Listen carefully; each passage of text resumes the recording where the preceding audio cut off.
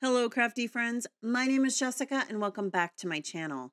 Today, we have a card for you using this beautiful coffee set from the recent Simon Says Stamp Timber release for 2024 and an older fall feeling set that I've had.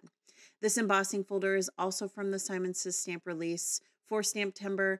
These are the Simon products that will be restocked throughout the rest of the year. So if they are currently sold out, just know they are coming back. These are not collaborations, these are Simon Says Stamp products. So if you follow me on social media, you're going to know that I am a coffee fanatic. Love coffee.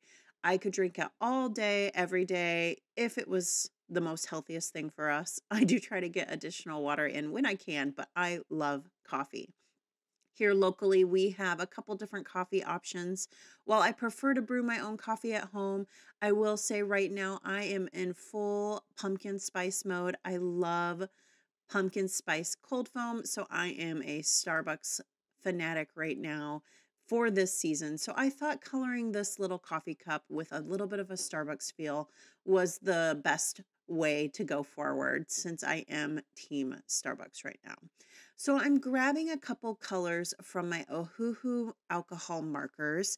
These are very inexpensive and you can find them on Amazon, but they are the alcohol markers that I have been using because I do not find that I am a color enthusiast. I enjoy coloring. I don't think I am the most bestest at this part of the hobby. And so having inexpensive markers have been really nice just for me to explore and kind of get to understand these types of markers and how they work.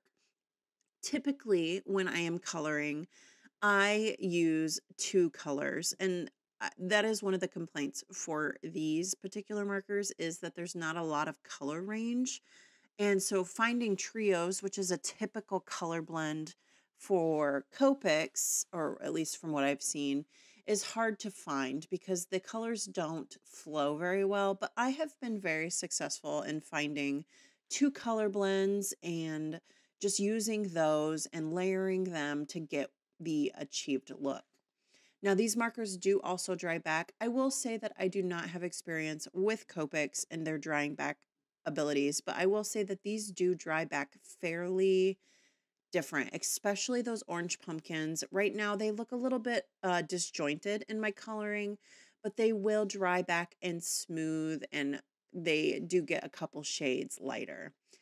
So I really loved this set here, this um, harvest set with this beautiful little frame.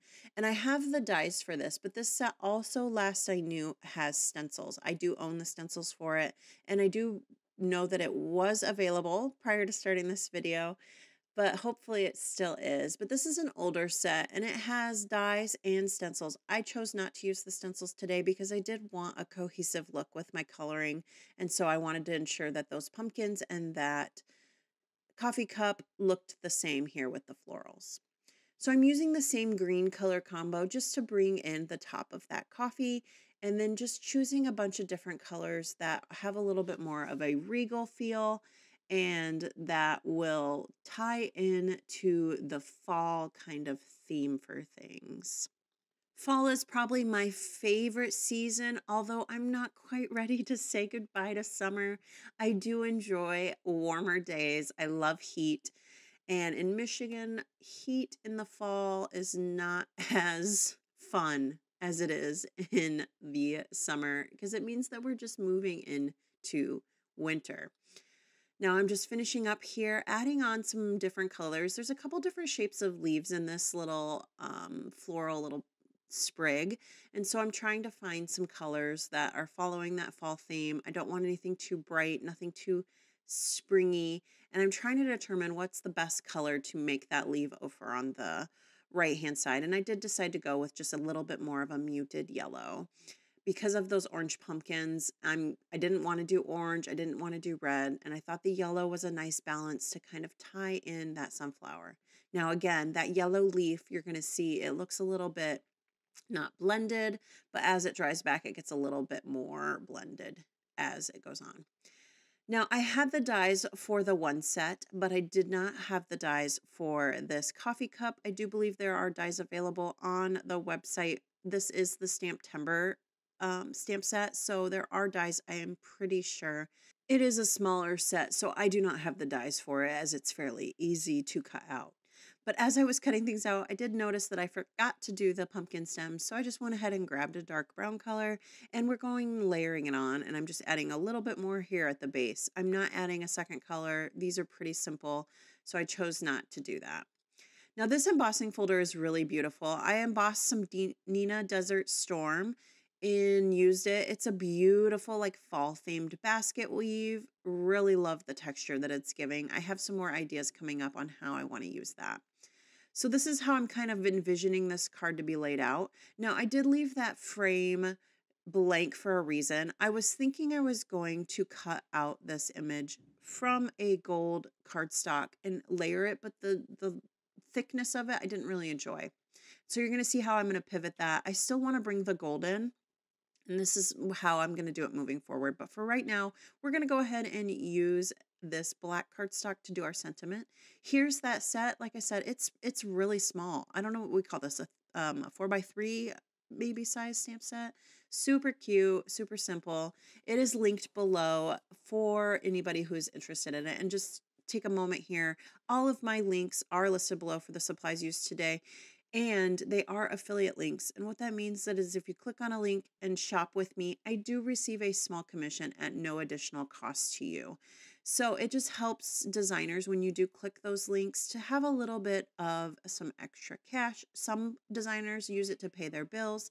So it's a great way to support us by clicking our links and ensuring that you shop with us.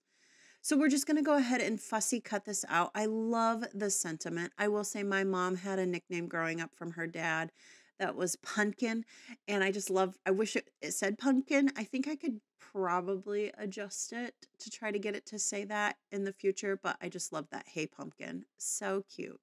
So we are fussy cutting. I'm just trying to keep a little bit of a black border all around, really focusing on the tops of those letters that jut up to ensure that I'm being careful with those. But the rest of them, I'm not getting too crazy about it, just kind of wiggling my scissors back and forth to give it a little bit of a bubble look.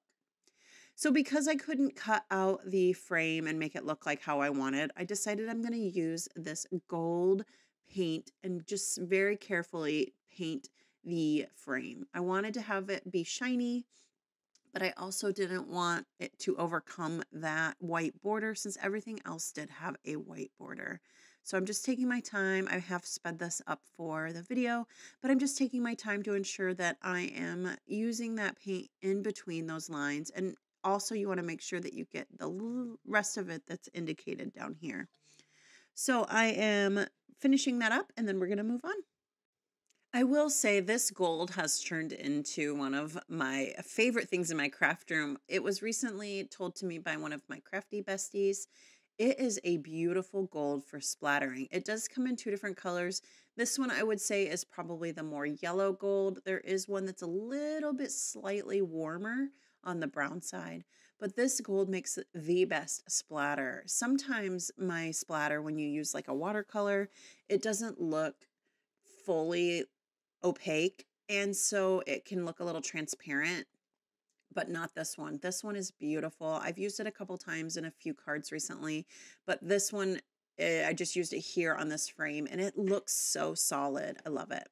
So now it's time to go ahead and adhere this card together. I went ahead and tape runnered the background down. I opted out of doing foam tape. Usually I like to pop my backgrounds up using some foam tape, but I knew I was going to get a little foam heavy on adding all of the designs and little uh, um, ephemera pieces here. And so I didn't want to add the extra bulk. I wanted to really focus on the bulk here. So I am using some foam squares from Simon Says Stamp. These are my favorite. These are also the ones that I'm using here are the thicker ones.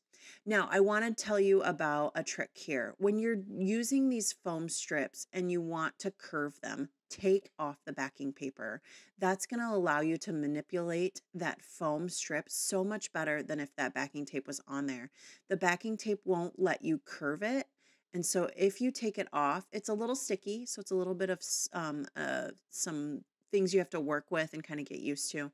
But if you take it off, you can mold that foam tape in such a beautiful way, especially on this curved portion here. So that's my quick tip for the day. All right, so I am making sure that I have it lined up. It is a little offset to the right side, but that's okay. that's the fun about handmade cards is the uniqueness that they bring. They're not perfect. They add that special handmade touch. And so that's what I did here. Now, I recently put this new tip on my Bearly Art Glue. This is one that comes with the set, and I put it on there for my daughter because she's in the craft room with me today, and it's a little bit easier for her to squeeze. And as you can see, I misjudged how much glue I was putting down, and so I'm trying to readjust that. I didn't want that glue drying and seeing it, so I'm trying to readjust it to ensure that it's not gonna like totally ruin the card by having a spot a spot there and yeah, and as I was putting on that pumpkin, it got a little out of control too. But tip for moms with little kids in the craft room that tip is perfect for them because they don't have to squeeze very hard. Typically, I do have the fine tip on it, and I just put that in the little vial that comes with the Bearly Art Glue set, and just I can swap it out when she's no longer using it. My only complaint is, is that it does not come with a stopper, and so you can't stop the you have to like clog it, you know, in order so it doesn't dry in the tip. And there's no addition to do that. So I did have to swap it out after she was done, or it does clog. So I went ahead and just popped up that sentiment, put it right there in the middle, and I'm going to keep this card really simple. This is it. I wish now I would have added a little bit of maybe some jewels, but I'm going to finish it off with just some white highlights. I am new to white highlights. I, I'm not sure that I fully understand how to do them. There are some really great crafters that I think rock at doing white highlights. I'm learning. It's a process to try to figure it out, but really just having fun, making sure that it's appeasing to your eye. That's kind of what I'm shooting for. I do know that you want to highlight the darkest areas of where you've colored. That's that's something I do know, and that's what I'm trying to do here. One of my complaints for this, and I don't know if it's the marker or if it's the um, pen, but on certain colors, and in this case particularly, it's the orange because I did not put it on red, but it also occurs with red or dark pinks, is that it absorbs the marker color underneath. Now, these markers have been sitting markered images have been sitting for a while. And so I was kind of shocked that it still did that. I haven't done any testing to see if I needed to heat set those pumpkins and if it would still bleed. But that is the one thing I noticed that on those reddish orange colors that are like a little bit more saturation, it, you do get your highlights bleeding into the color and it's hard to get a nice crisp white. Now, I probably could have put um, a sealant on it and then done the white highlights. That would have worked too, but honestly, it doesn't bother me, but I wanted just to make you aware that that's happening. And that's the card for today. Thank you for joining me. Again, links are listed below. I hope that you enjoyed this card. Let me know in the comments, and I hope that you have a beautiful day.